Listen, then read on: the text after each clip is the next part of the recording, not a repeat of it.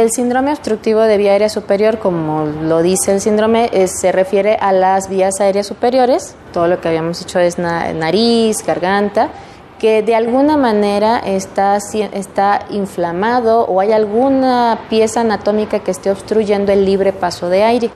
Y en este caso, pues la falta de un volumen corriente de aire adecuado, pues obviamente va a repercutir en la salud de muchas partes de nuestro cuerpo. Generalmente como síntoma más común tenemos el ronquido, el ronquido y la respiración bucal.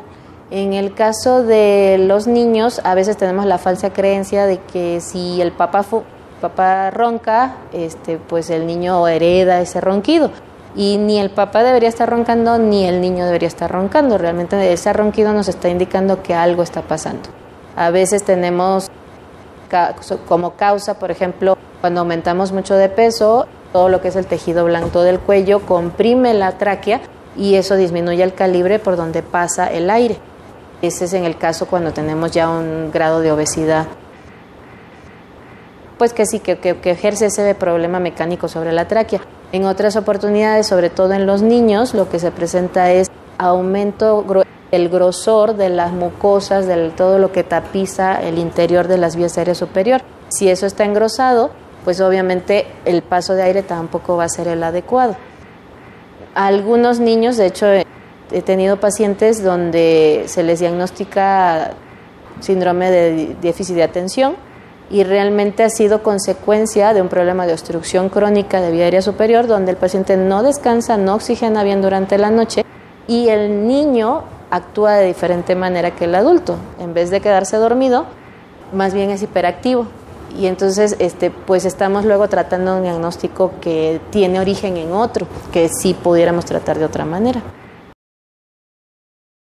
Este síndrome obstructivo se va a diagnosticar a través de la clínica, lo que vendría siendo la descripción que hacen los, cuidadores del niño al respecto de cómo duerme, si aletea su nariz en la noche jalando el aire, si abre la boca, si hace sonidos.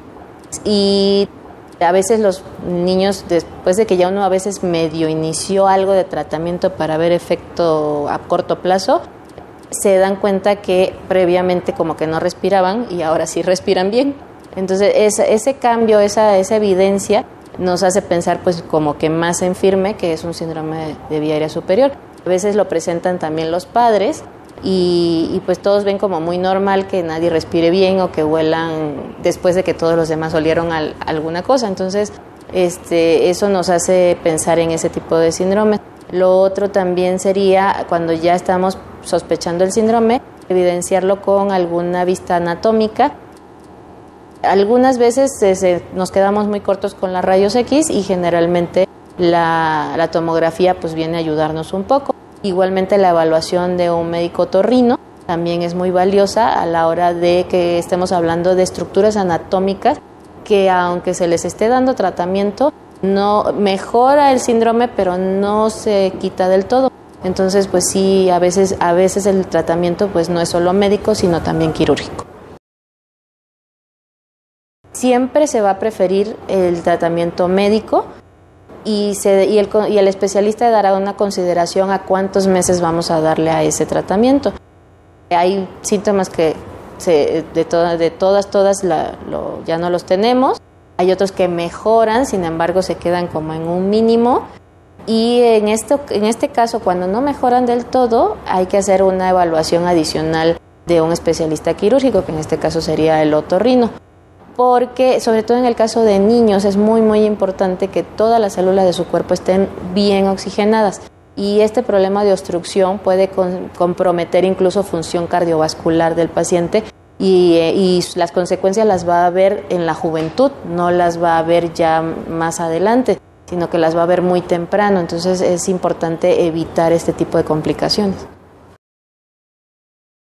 Realmente lo que podemos, si se llega a presentar la situación del síndrome obstructivo, es atacar pronto la causa original para evitar complicaciones, como decíamos. El corazón, cuando el sistema respiratorio no hace su función al 100%, el primero que sale a ayudar es el corazón, entonces estamos haciendo una recarga adicional al corazón. Podemos tener eh, complicaciones como hipertensión pulmonar, que conlleva un tratamiento específico, oxígeno y ese tipo de cosas, este, que pues esperamos que ningún chiquito, incluso que ningún adulto se presentara.